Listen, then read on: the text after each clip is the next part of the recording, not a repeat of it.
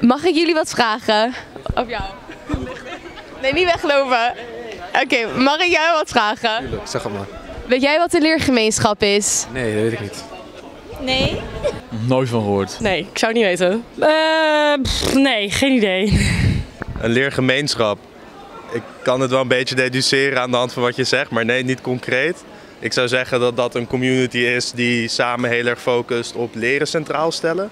Nou, zo'n leergemeenschap, het is een nieuwe vorm van onderwijs die wij hier sinds uh, vorig jaar hanteren. En dat betekent eigenlijk dat een groep van uh, 60 studenten en vier docenten zijn samen een leergemeenschap. En een leergemeenschap wil eigenlijk zeggen dat je met elkaar probeert verder te komen. Dus opdrachten maken, veel samenwerken, dingen uitwisselen, van elkaar leren, elkaar zien. Ik zou zeggen dat de leergemeenschappen wel heel goed werken.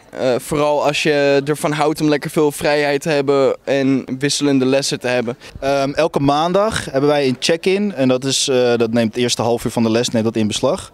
En dan moeten twee leerlingen uit de leergemeenschap. Die moeten een check-in leveren. En dat uh, om een beetje interactie te creëren. Maar ook om gewoon even uit de sleur van het weekend te komen. Weet je wel? Van oké, okay, maandag is weer begonnen.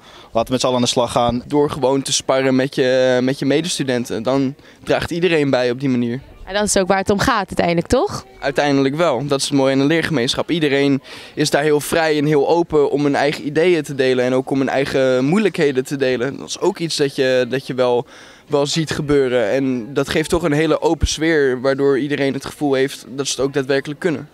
Ja, en de, ja, we richten ons hier echt wel op uh, dynamisch onderwijs. Dus veel dingen doen, uh, op veel verschillende manieren achter informatie komen. Ja, en als dat je niet ligt, dus als je niet actief bezig wil zijn met iets, dan is dit niet voor jou. De meerwaarde van het leren in een leergemeenschap is dat je verbinding hebt met de praktijk al meteen. Dus niet pas nadat je afgestudeerd bent. Dus dat je meteen al weet wat het is.